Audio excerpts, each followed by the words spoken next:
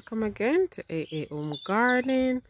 Thanks to all my subscribers and anyone viewing welcome. Guys this is my jamaican sweet tamarind. I did a video of it when i was in a tour of my tropical plants a couple months ago but i'm about to take it indoor now for winter so i'm just showing you what it's like so if you look closely i kept it outside for a couple cold nights which was very naughty. I forgot to take it back indoors. So this is my jamaican tamarind guys. This is a sweet one. Sweet sweet tamarind. And the thing is i didn't have a plant when i was in jamaica but my neighbors had a massive tamarind tree. You can see shooting out new branches and thing everywhere. They had a tamarind tree guys and it was hanging over our side and we used to take it and just eat it as it is. We used to make tamarind balls and things like that. And you know what guys? The neighbors chopped the branches. That was hanging over our side and i was so so sad. So yes this is like a tamarind. It's about 40 centimeter tall and i'm going to overwinter it indoor now. I've noticed that it's a bit root bound but guys i don't really want to repot it now. What do you think guys I was gonna just let it survive until next couple of months, five months or so till winter is finished, five, six months depending on, on what the this winter is like. It's something just extend and seem like it's never ending. So I wasn't gonna I didn't want to repot it because now we're in um today's the 16th of October so I didn't want to um, repot it so late but you can see it's doing well. You can see new shoots coming out and everything.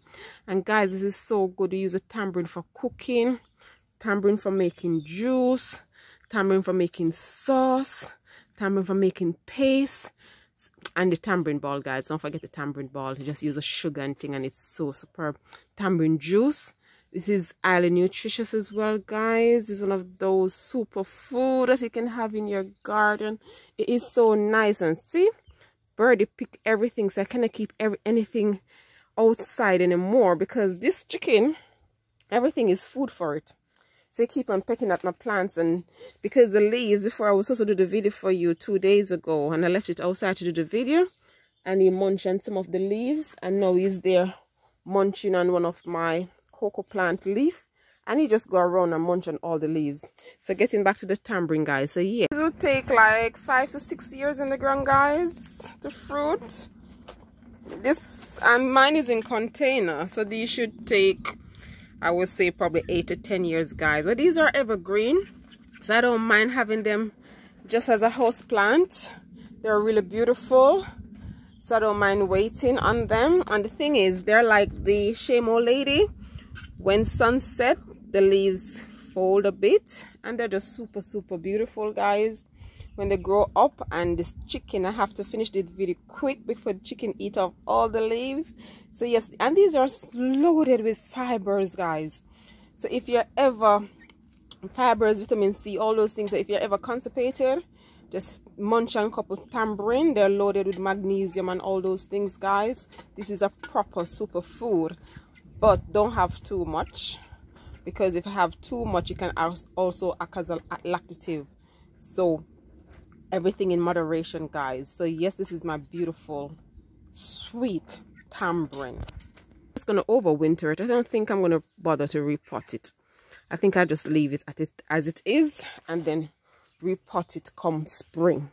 So that's it guys. It have grown. This is about it have grown about probably 10 centimeters since summer.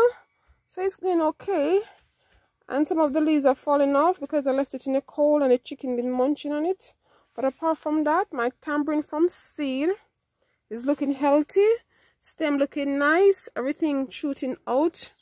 New new leaves and everything. So yes guys if you have grown tamarind in cold regions before do let me know how you got on. If you got it with fruit. Let me know how long it took for you to get some tamarind off your tree. So yes guys this is just one of my many tropical plants that i'm growing here in Cole Cole uk so until next time guys keep gardening. Take care now. Bye bye like share, subscribe, and click the notification bell.